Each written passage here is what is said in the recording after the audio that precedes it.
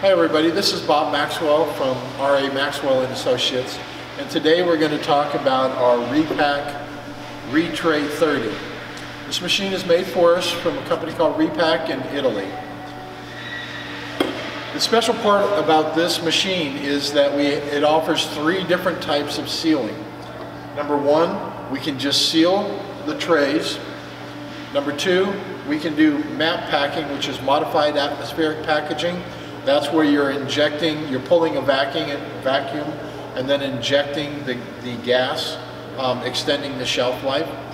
And then the third special feature about this machine is the skin packing feature. So skin packing is where the film draws down over the product and it really accentuates the look of the product. And we'll show you a couple of pictures of that here in a minute. So what we're going to talk about is the features of this particular machine and how easy it is to change from sealing, map packing to skin packing. So this is a two chamber setup. These are what they call just standard number three trays. We drop our trays in with our food product. So what we're going to do today is I'm going to show you some of the features and benefits of this machine and how easy it is to uh, set up the machine for just sealing or map packing or uh, skin packing. So we can go over here to our program. We'll push program. Right now it's showing SX. What that means is it's just sealing. We hit our enter key and now the, you see that the uh, letter is flashing. We go down to our arrow key and now it's saying skin pack. So if we wanted skin pack, then we would just go ahead, hit enter, that locks in the skin pack, and then we hit our program and we're back to where we need to start. Okay? If we're going to do map packing, we simply hit our program. We're going to hit enter. We see that the skin packing now is flashing.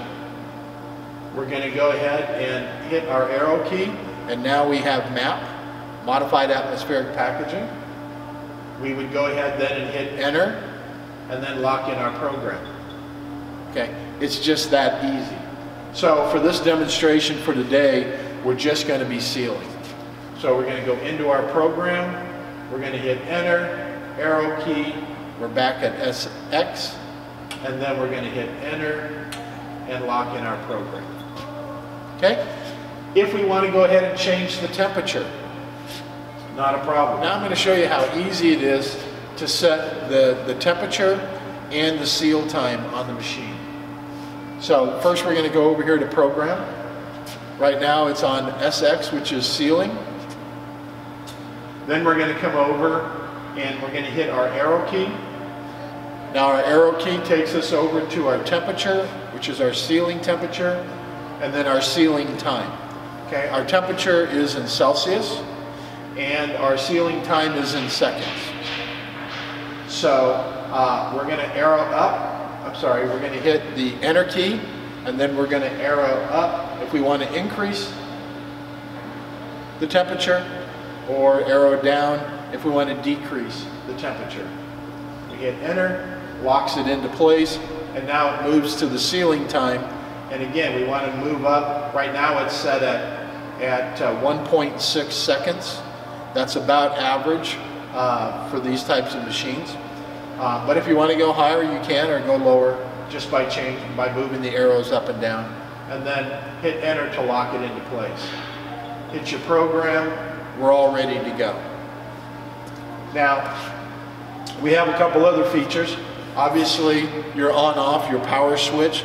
This is a lockout tagout switch. So if you ever have any problems at all with the machine, you want to make sure that it's locked out so somebody doesn't turn on a machine where there might be a problem okay? You have your stop switch and your on switch uh, for your sealing mechanism to go into place. So we have our food in our trays. Now we're just going to push our tray in. The film is starting to advance. We're going into our time. It's now done.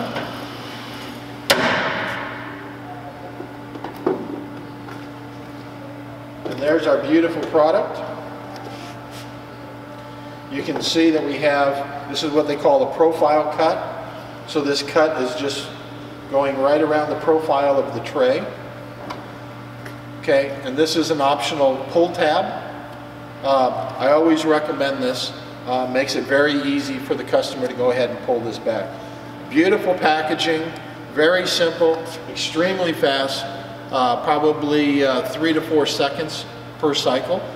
All right, and that's just for sealing. For map packing, you're probably looking at about uh, 10 seconds per cycle. Um, and then if you're, if you're doing skin packing, about the same, about 10 seconds. So thank you very much. We really appreciate your time. Uh, take a look at our website. Take a look at the other items that we have, processing, hygiene, uh, material handling, as well as our processing and packaging equipment. Thank you so much and have a great day.